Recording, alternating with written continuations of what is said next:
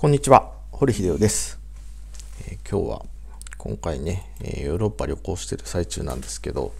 まあ、印象深かった都市、ね、その中でアムステルダム、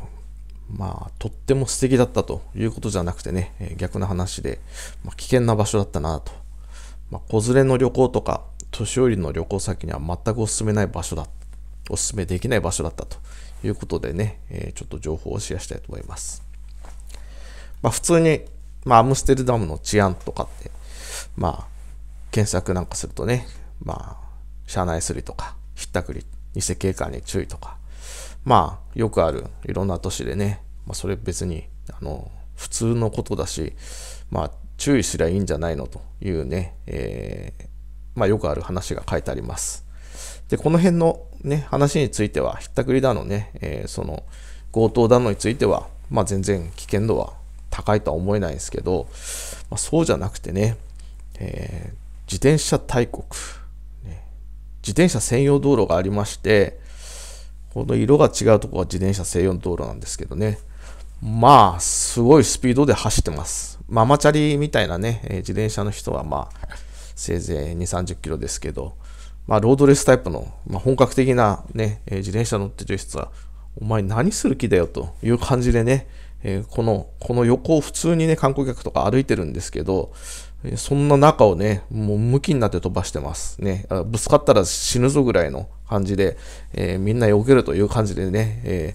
まあ、ちょっと道に出ると、あーとか怒鳴って走っててね、まあ、まあ、恐ろしいですね。で、え信号もね、多分本来はここ青になって渡ってる時自転車止まるんでしょうけど、止まるやついないです。そのままのスピードで突っ込んでいくんでね、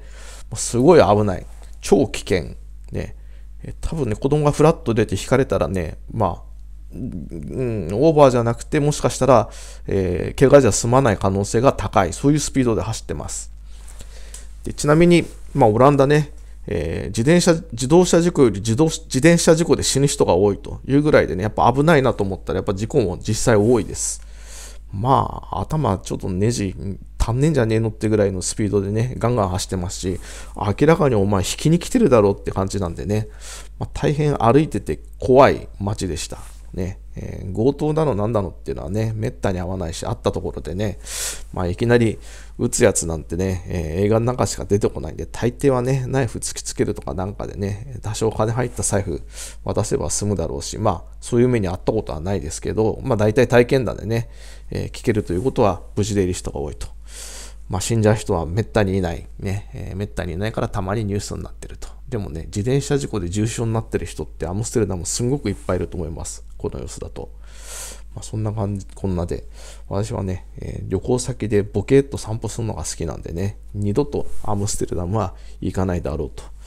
でそれを差し引いてもね、なおかつ、これが素晴らしかった。ね。まあ確かにフェルメールの絵とかはね、あったんですけど、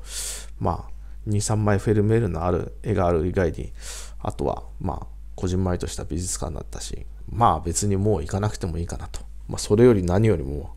危ねえだろうというのがね、すごい印象的でした。まああんまりね、この自転車がすげえ危ないっていう情報を発信してる人いないんですけど、すごい危ないですよね。私が散歩が趣味だから、なおかつ感じたんかもしれないですけど、信号無視、ね、両手放しでスマホ見ながら運転してるやつもいりゃあね、引き殺してやらずぐらいの血相書いて走ってるやつもいるし、まあ、非常に危険なところでね、えーフラッと出てく子供とか、まあ、あの反射神経の落ちちゃった、あるいは怪我をしたらね、結構長引いちゃうお年寄りなんかには、もう全くお勧めできないんでね、えーどうしても行きたいという以外はね、旅行先から外した方がいい場所だなというふうに思いました。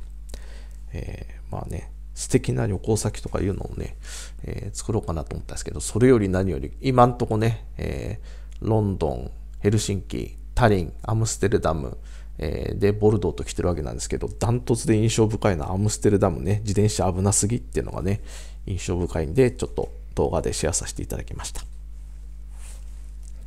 世界旅行して回ってますね。えー何をやって回ってるか、Amazon 輸出で旅行して回ってるんですけど、そんな生活面白そうじゃんと思った方はね、こちらにメイドアドレスとお名前を記入して登録するボタンを押して、この副業サポートどんな副業なのか、オーストラリアのアマゾン輸出、どれぐらい儲かるのか、まあ、その辺の情報をね、えー、無料なんでチェックしてみてください。ご登録お待ちしてます。